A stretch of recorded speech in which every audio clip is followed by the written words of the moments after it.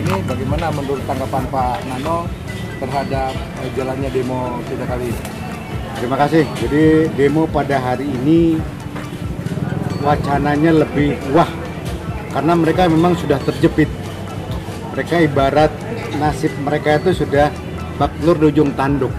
Jadi semangatnya yang prediksinya kita hanya 700 orang bahkan tidak nyampe justru malah mencapai 1500. Target kita Artinya 500 padahal ya. 500 sampai 700. Tapi justru ini malah responnya begitu tinggi. Walaupun banyak upaya-upaya pengembosan di sana sini, tapi rupanya mereka nggak mam- mampu. Ya salah satu contoh teman Blitar aja kan nggak bisa hadir, walaupun mengirim utusan tidak bisa hadir karena apa? Karena Pak Dirjen sekarang di sana sedang panen raya jagung, ya kan? Artinya apa? Upaya-upaya pengebosan walaupun dipaksa bagaimanapun demo tetap jalan. Ini kan demo ini sebagai salah satu ruang publik ya Pak, Pak Nano.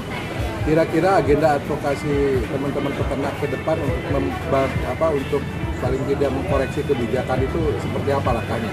Sebaiknya memang kita harus melibatkan teman-teman dari LSM di mana yang paham terhadap eh, organisasi, paham terhadap peraturan, paham terhadap undang-undang karena walaupun demo beratus-ratus kali tapi kalau undang-undangnya tidak diperbaiki kita akan terus begini.